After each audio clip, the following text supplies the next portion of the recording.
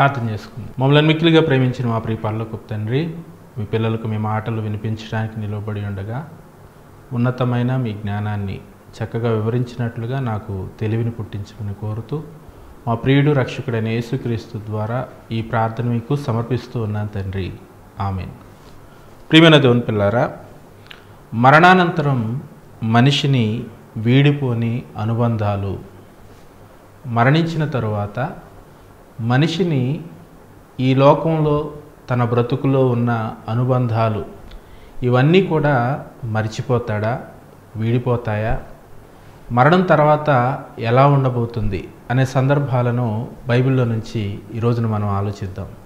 ప్రియులారా ఈరోజు ప్రతి మనిషి కూడా బ్రతికున్న దినాలలో ఉన్న అవసరాల గురించి ఆలోచిస్తూ ఉంటాడు తప్ప కన్ను మూసిన తర్వాత జరగబోయే పరిణామాల మీద ఎటువంటి దృష్టి పెట్టడం.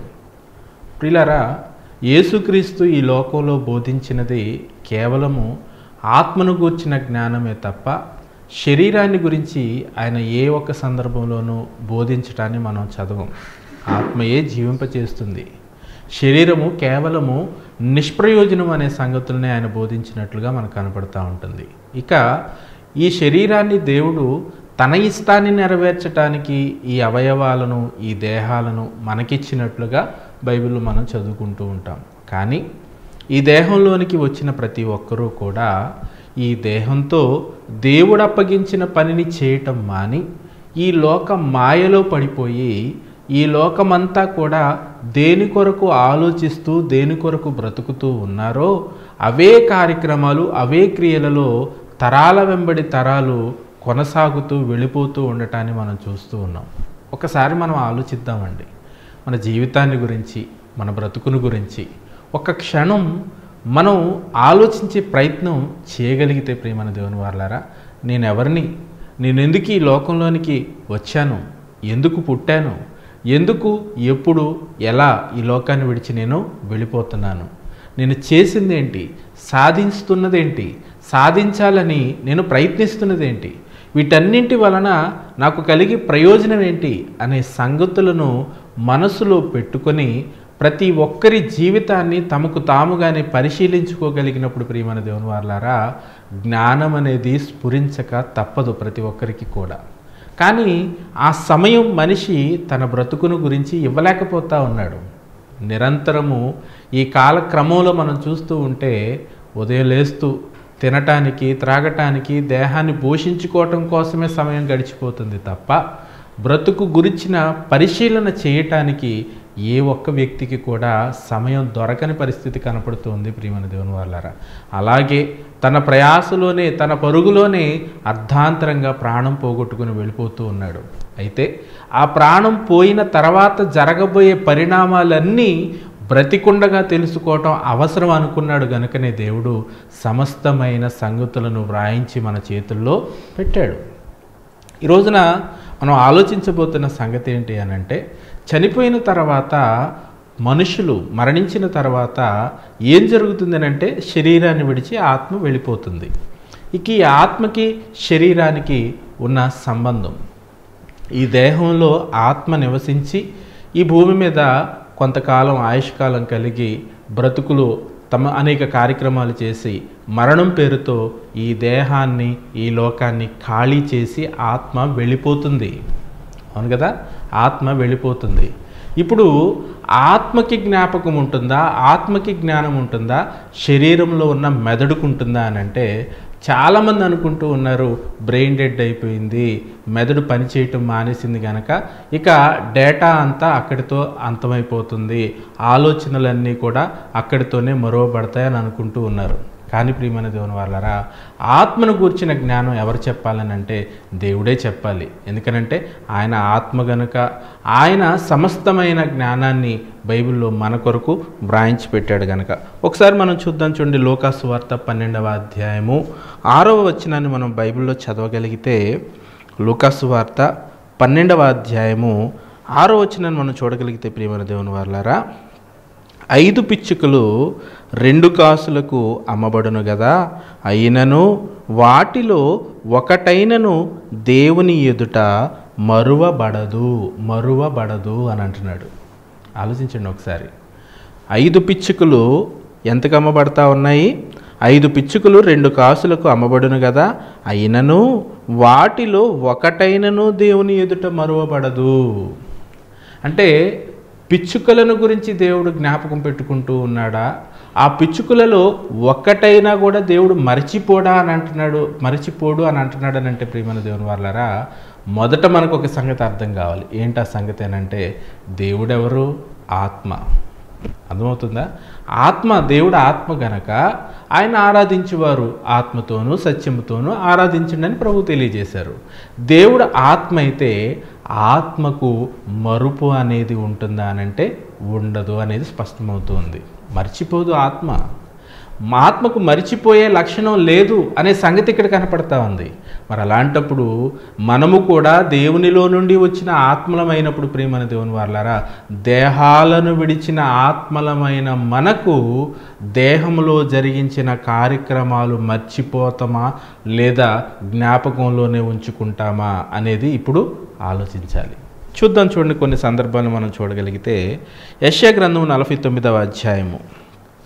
యశ్యా గ్రంథము నలభై తొమ్మిదవ అధ్యాయము పదిహేనవ వచనాన్ని ఒకసారి చదువుదాం చూడండి.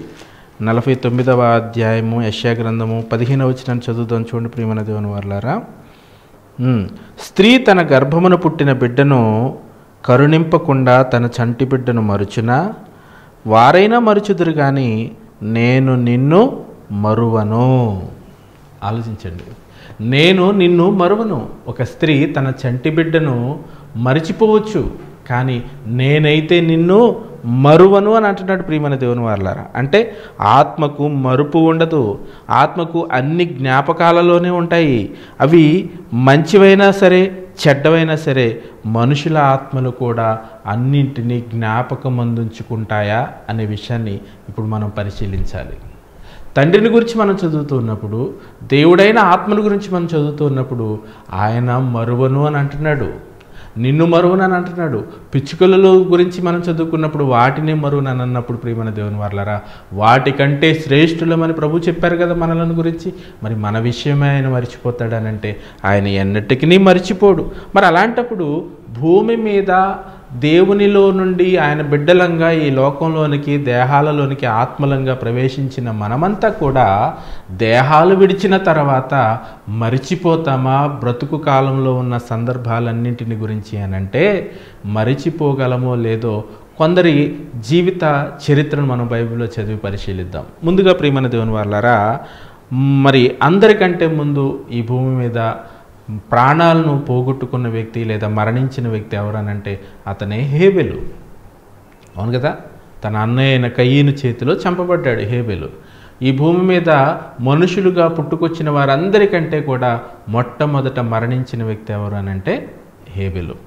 హెబ్రిల్కు రాస్తూ అపోస్టైన పౌలు గారు పదకొండవ అధ్యాయము నాలుగవ వచనంలో ఒక మాటను రాస్తూ ఉన్నారు. చదువుదాం చూడండి. హెబ్రిల్కు రాస్తున్న పత్రిక పదకొండవ అధ్యాయము నాలుగవ వచనాన్ని మనం బైబిల్లో చూడగలిగితే ప్రియమైన దేవుని వారులారా?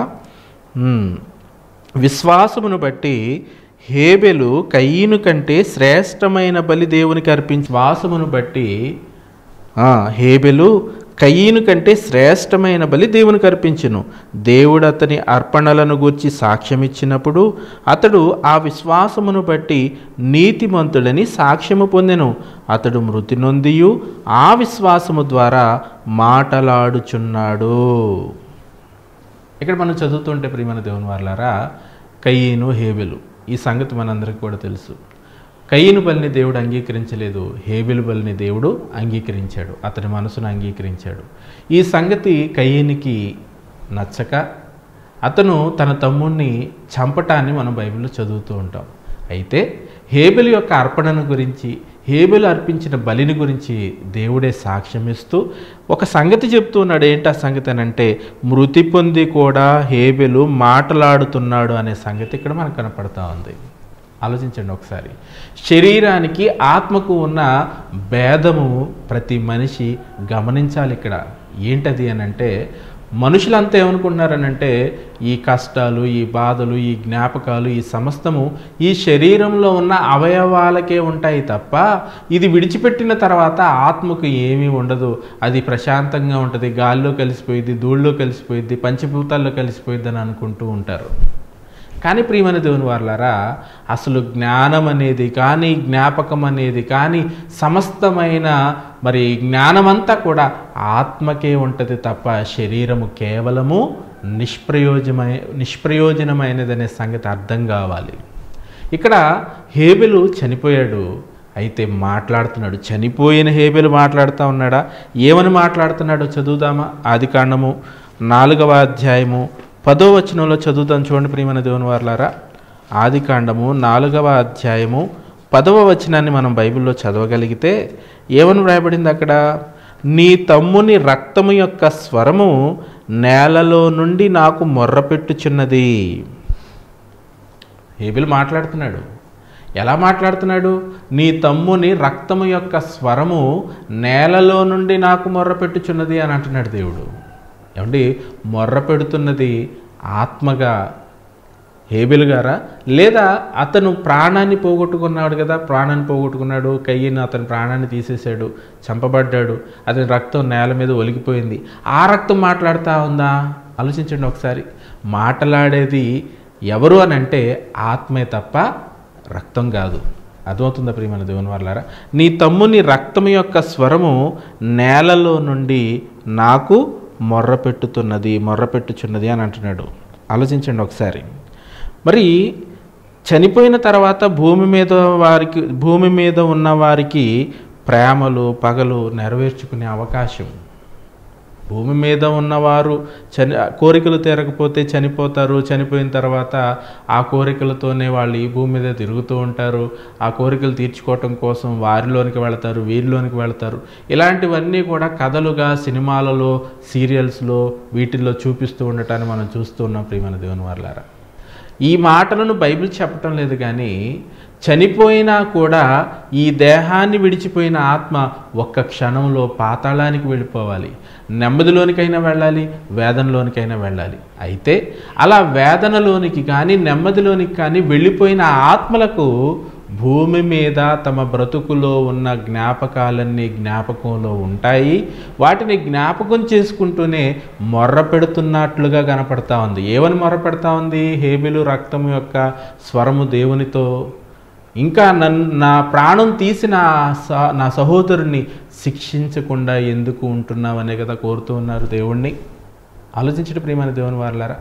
మరణించిన తర్వాత ఆత్మకు సమస్తమైన జ్ఞాపకము ఉంటుంది అన్న సంగతి ఇక్కడ మనకు కనపడతా ఉంది. ఇక మత్స్యవార్త ఇరవై మూడవ అధ్యాయంలో మనం చూడగలిగితే మత్స్యవార్త ఇరవై మూడవ అధ్యాయము ముప్పై ఐదో వచ్చినాన్ని కూడా చదువుదాం చూడండి. మత్స్సు ఇరవై మూడవ అధ్యాయము ముప్పై ఐదో వచనంలో కూడా మనం చూడగలిగితే యేసుక్రీస్తు కూడా మరి మాట్లాడుతున్న మాటలు మనం చదువుదాం. ముప్పై ఐదో వచనం. ఇక్కడేం కనపడతా ఉంది? నీతిమంతుడైన హేబెలు రక్తం మొదలుకొని బలిపీఠమునకును దేవాలయమునకును మధ్య మీరు చంపిన బరకీయ కుమారుడుకు జకర్య రక్తము వరకు భూమి మీద చిందింపబడిన నీతిమంతుల రక్తమంతయు మీ మీదికి వచ్చును. ఇవన్నీ ఈ తరము వారి మీదికి వచ్చినని మీతో నిశ్చయముగా చెప్పుచున్నాను. ఆలోచించడు ప్రియమైన దేవుని వార్లారా.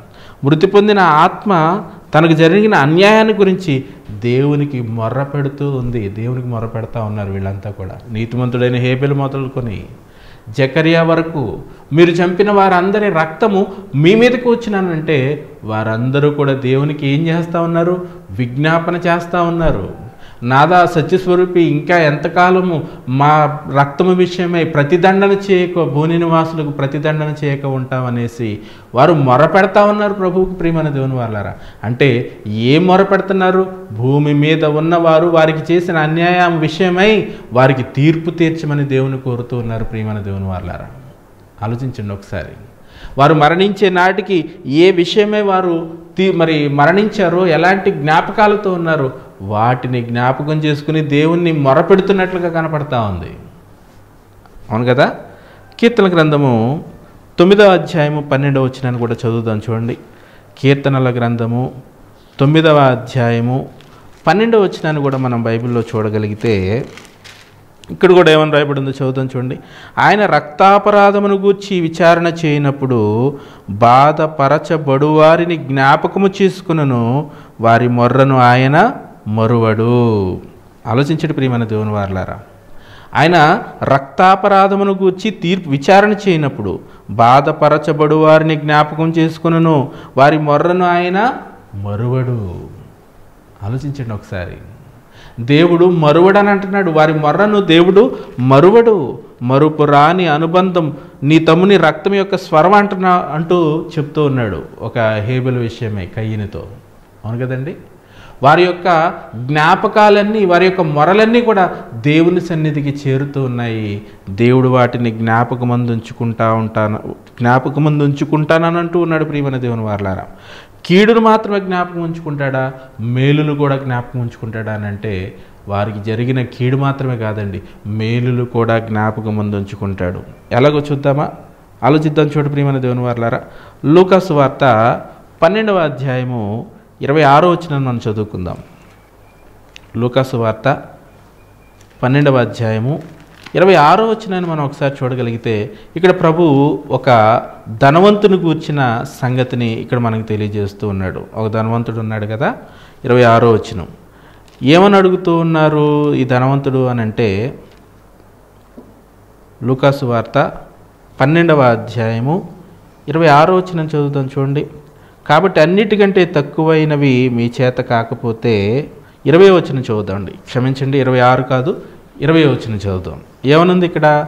అయితే దేవుడు వెర్రివాడా ఈ రాత్రి నీ ప్రాణమును అడుగుచున్నారు నీవు సిద్ధపరిచినవి ఎవని వగునని అతనితో చెప్పెను.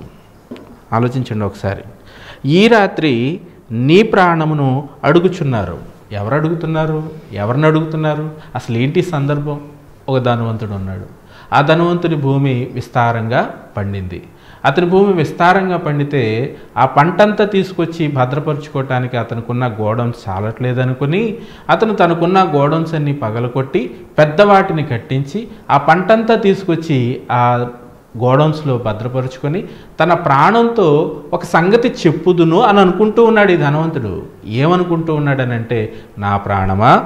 తినుము త్రాగుము సుఖించుము. అనేక సంవత్సరములకు సరిపడినంత విస్తారమైన ఆస్తి నీకు సమకూర్చబడి ఉన్నది గనక ఇక నువ్వు తిను త్రాగు సుఖించు అని చెప్పుదును అనుకునేను అని వ్రాయించాడు. ఎప్పుడైతే ఈ ధనవంతుడు తన హృదయంలో తినుటకు త్రాగటానికి సుఖించటానికి ఈ లోకంలో స్థిరపడటం కోసం ఆలోచిస్తూ ఉన్నాడో వెంటనే దేవుడు మాట్లాడుతూ ఉన్నాడు. ఏమని మాట్లాడుతూ ఉన్నాడు? వెర్రివాడా ఈ రాత్రి నీ ప్రాణమును అడుగుచున్నారు నీవు సంపాదించినవి ఎవనివి అగును? అని అంటూ ఉన్నాడు. ఇంతకీ ఇతని ప్రాణాన్ని తీసేయమని ఎవరు అడుగుతున్నారు చెప్పండి? ధనవంతుడి ప్రాణాన్ని తీసేయమని ఎవరు అడుగుతున్నారు? దేవుణ్ణి అడుగుతున్నారట. ఏమండి దేవుణ్ణి అడుగుతున్నారు అంటే దేవుని దగ్గరికి వారి మొరలు వెళుతున్నాయి. ఇంతకీ దేవుని యొద్దకు ఈ ధనవంతుని గురించి ప్రార్థించేవారెవరు? ఎవరైనా భూమి మీద ఉన్నవారు ప్రార్థిస్తే దీవించాలని ఆశీర్వదించాలని ఇంకా విస్తరింపచేయాలని ప్రార్థిస్తారు. అవును కదండి? కొన్ని శత్రువులు ఎవరైనా ప్రార్థిస్తే దేవుడు వింటాడా? వినడు. సమాధాన పడమని కదా చెప్పాడు. మరి భూమి మీద ఉన్నవారు ప్రాణం తీసేయమని ప్రార్థించమని దేవుడు ఎక్కడేం చెప్పాడా? మీరు ఎవరైనా నష్టపోయినా వారిని క్షమించి నీ శత్రువుని క్షమించి వారి కోసం ప్రార్థన చేయమని చెప్పాడు. మరి ఇంతకీ ఎవరు చేస్తున్నారు? ఇతని ప్రాణం తీసేమని ప్రార్థన అని అంటే ప్రియమైన దేవుని వాళ్ళరా భూమి మీద దేవుని కొరకు ప్రాణాలు అర్పించి తమ రక్తాన్ని చిందించి నెమ్మది కొరకు పరలోకం కొరకు భూమి మీద ప్రయాసపడి ఈ లోకాన్ని విడిచి నెమ్మదిలోనికి వెళ్ళిపోయిన వారంతా కూడా పరలోకం చేరాలని ప్రభు రాక కోసం ఎదురు చూస్తూ ఇంకా ప్రభు దీర్ఘశాంతంతో మార్పు చెందుతారని దేవుని యొద్దకు వస్తారని మనుషులందరి గురించి ఆయన దీర్ఘశాంతంతో ఎదురు చూస్తూ ఉంటే మార్పు లేక తమ కోసమే ఆలోచిస్తూ భూమి మీద సుఖపడాలని సంతోషించాలని బ్రతుకుతున్న ఇలాంటి వారందరి విషయమే వారు మొరపెడతా ఉన్నారు. ఏమని మొరపెడతా ఉన్నారు? ఇంకెంతకాలం తండ్రి? ఇంకెంతకాలం వీరి కోసం ఎదురు చూస్తూ ఉంటావు? ఇదిగో వీడు మార్పు చెందుతాడా? మార్పు చెందడు. తన కోసం అంటాడు తన కో తన తన అవసరాలు అన్నాడు మొదట. తన అవసరాలన్నీ తీరిన తర్వాత తన కుమారుల అవసరాలని అన్నాడు. ఆ తర్వాత తన కుటుంబం తర్వాత రాబోయే తరం అని అన్నాడు. ఆ తర్వాత తరతరాలు అని అంటున్నాడు. ఇక భూమి మీద తరతరాలకు సమకూర్చుకోవటం కోసం సుఖపడటం కోసం ఆలోచిస్తున్న ఇతని గురించి నువ్వు ఇంకా ఎదురు చూస్తావా? దీర్ఘశాంతంతో వద్దు. వీడి ప్రాణాలు తీసేయి. ప్రతిదండన చేయి. మా రక్తం విషయమై భూనివాసులకు ప్రతిదండన చేయని మొర్ర పెడతా ఉన్నారండి. చనిపోయిన నీతిమంతులైన వారందరూ కూడా ప్రియమైన దేవుని వారులారా అంటే వారేం మర్చిపోలేదా? మరిచిపోలేదు. జ్ఞాపకంలోనే ఉన్నాయి. సమస్త విషయాలు జ్ఞాపకంలోనే ఉన్నాయి. ఇంకొక విషయాన్ని కూడా మనం చూడగలిగితే ధనవంతుడు మీకు తెలుసు కదా? లోకాసు వార్త పదహారో అధ్యాయంలో ధనవంతుడు ఉన్నాడు పేదవాడైన లాజరు ఉన్నాడు. ధనవంతుడు చనిపోయాడు లాజరు చనిపోయాడు. చనిపోయిన తర్వాత ధనవంతుడు అబ్రహామును అతని రొమ్మున ఉన్న ఆ లాజరును చూసి గుర్తుపట్టి మాట్లాడుతూ ఉన్నాడు. ఇక్కడ వారు అక్కడికి అక్కడి వారు ఇక్కడికి. దాటి పోజాలకుండా దాటి రాజాలకుండా మీకు మాకు మధ్య మహా అగాధం ఉంచబడింది. కనుక లాజరును నీ యొద్దకు పంపటం సాధ్యపడదని ధనవంతుడితో అబ్రహాం గారు చెప్పిన వెంటనే ధనవంతుడు ఎవరిని జ్ఞాపకం చేసుకుంటున్నాడు తెలుసా? మరణించిపోయిన మరణించిన తర్వాత వేదనలోనికి కేకలు వేసే పరిస్థితుల్లోనికి వెళ్ళిపోయిన ఆ ధనవంతుడు అలాంటి స్థితిలో కూడా భూమి మీద బ్రతికున్న ఐదుగురు సహోదరులను జ్ఞాపకం చేసుకుంటున్నాడు. ఆ ఐదుగురు సహోదరుల మేలు కోసం ప్రార్థిస్తూ ఉన్నాడు. వారి యొక్క రక్షణ కోసం ప్రార్థన చేస్తూ ఉన్నాడు. కాదంటారు చెప్పండి ప్రియమైన దేవుని వాళ్ళరా తండ్రివైన అబ్రహామా అలాగనవద్దు. నాకు ఐదుగురు సహోదరులు ఉన్నారు వారు నీ వేదనకరమైన చోటుకు వచ్చేస్తారని నాకు అర్థమైపోయింది. వారు ఇక్కడికి రాకూడదు. వారి కొరకు లాజరును ఒక్కసారి అక్కడికి పంపించవా? నా తండ్రి ఇంటికి పంపించవా? ఆలోచించడు ప్రియమైన దేవుని వాళ్ళారు మరణించినా కానీ ఈ ఆత్మ యొక్క అనుబంధాలు తమ తమ్ముళ్ళ యొక్క మీద ఉన్న ప్రేమ వారి మేలు ఇతను మరిచిపోలేకుండా వారి కోసం చేయగలిగిన రక్షణ కోసం ప్రార్థిస్తున్నాడనంటే ప్రియమైన దేవుని వాళ్ళారా భూమి మీద ఉన్నవారు ఏం ఆలోచిస్తున్నారు ఇప్పుడు చెప్పండి. ఆలోచించండి ఒకసారి.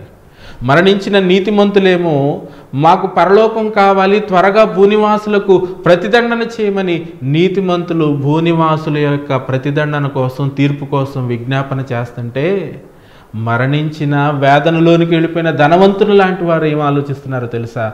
కనీసం మా వారైనా భూమి మీద ఉన్నారు వారైనా మార్పు చెంది ఇక్కడికి రాకుండా ఉంటే చాలు. ఇటు వీరి మొర్ర వీళ్ళకి పట్టడం లేదు. నీతిమంతులుగా ప్రా వెళ్ళిపోయిన వారు ప్రార్థిస్తున్న ఆ మొర్రను గురించి బ్రతుకున్న వారు ఆలోచించడం లేదు. తమ వారుగా ఈ లోకాన్ని విడిచి వేదనలోనికి వెళ్ళిపోయి వీరైనా మార్పు చెంది ఇక్కడికి రాకుండా ఉండాలని వాళ్ళు పెడుతున్న మొరను గురించి కూడా భూమి మీద ఉన్నవారు పట్టించుకోకుండా ఎలా బ్రతుకుతున్నారనంటే అజ్ఞానులుగా అవివేకులుగా బ్రతుకుతున్నారు ప్రియమైన దేవుని వాళ్ళారా వీళ్ళేం ఎక్కడేం చేస్తూ ఉన్నారు? మా అన్నయ్య చనిపోయాడండి. ధనవంతుడు సహోదరులు ఉన్నారు కదా? మా అన్నయ్య చనిపోయాడు. సంవత్సరం అయిపోయింది. సంవత్సరికం చాలా ఘనంగా చేయాలి అని భూమి మీద మరలా వాళ్ళన్నయ్యలాగానే బ్రతుకుతూ ఉన్నారు కానీ మరణించి వేదనలోనికి వెళ్ళిపోయిన ఆ ధనవంతుడు వేదన చెందుతున్న ఆ ప్రకారంగా ఎవరు ఇక్కడ మార్పు చెందటం లేదు. చూసారా ప్రియమైన దేవుని వారులారా? మరణించినా కానీ వీడిపోని ఈ అనుబంధాలతో ఈ కష్టాలతో ఈ బాధలతో ఇక్కడేదో ఈ కష్టాలు ముగిసిపోతాయి అనుకుని ప్రాణాన్ని పోగొట్టుకుంటున్నాడు. అయ్యేయో ఈ చిన్నదాని కోసం నేను ప్రాణాన్ని పోగొట్టుకున్నానా? ఈ అప్పుల బాధ కోసం నేను ప్రాణాన్ని పోగొట్టుకున్నానా? ఈ నిందల కోసం నేను ప్రాణాన్ని పోగొట్టుకున్నానా? ఈ ప్రాణాన్ని దేవుని కోసం పెడితే పరలోకానికి వెళ్ళిపోయేవాడిని కదా. ఈ ప్రాణాన్ని నేను దేవుని కోసం అర్పిస్తే నిత్య జీవంలోనికి వెళ్ళిపోయాను కదా. ఇంత తప్పు చేశానేంటి అని వేదన చెందే దినం ఆ రోజు ప్రియమైన దేవుని వారులారా. ఆలోచించండి ఒకసారి. దేవుని జ్ఞానము తెలుసుకోలేని కారణం చేత కన్ను మూసిన తర్వాత ప్రతి వారి జీవితాలు ఎలా ఉండబోతున్నాయో దేవుడు ప్రత్యక్షంగా వ్రాయించి పెట్టాడు. కనుక యుగ యుగములు ఉండాలి ఆ దిన ఆ పాతాళంలో. యుగ యుగములు వేదనలో ఆ బాధలు ఆ దుఃఖంలో నలిగిపోకుండా ఉండాలని అంటే బ్రతుకు కాలంలో ఒక్క గడియ నువ్వు ఆలోచిస్తే చాలు. ఒక గంటని ఈ మాటలు నువ్వు అర్థం చేసుకుంటే చాలు.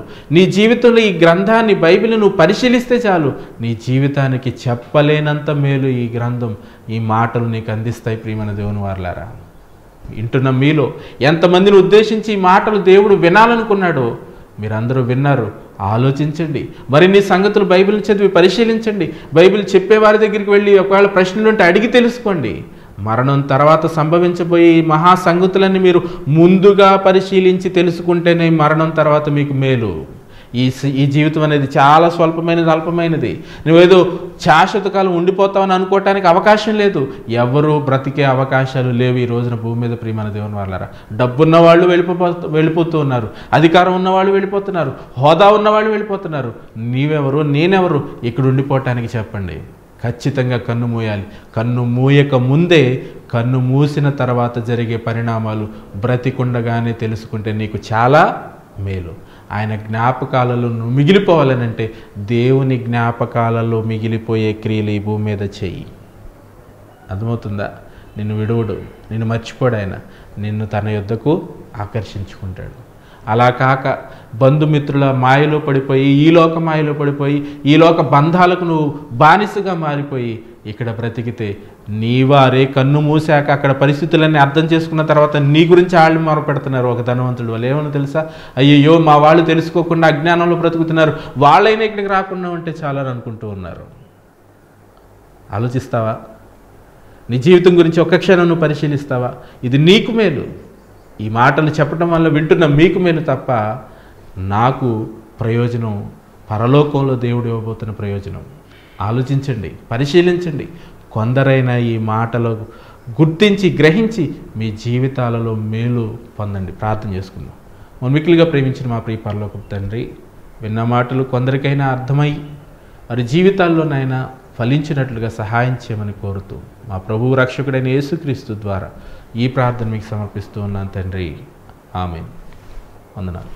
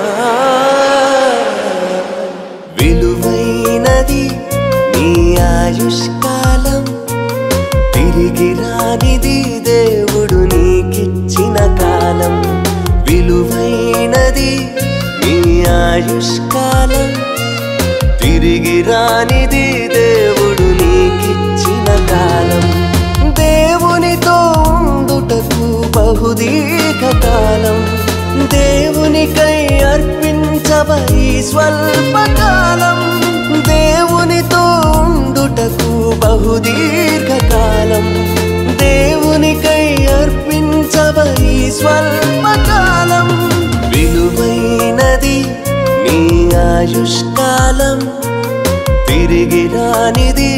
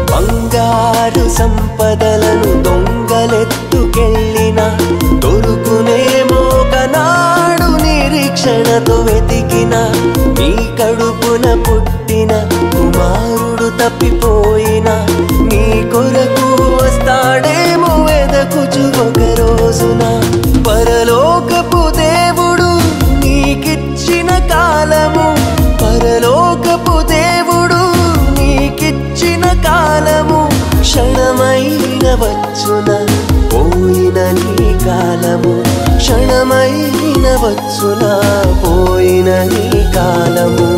విలువైనది నీ ఆయుష్కాలం. తిరిగి రానిది దేవుడు నీకిచ్చిన కాలం.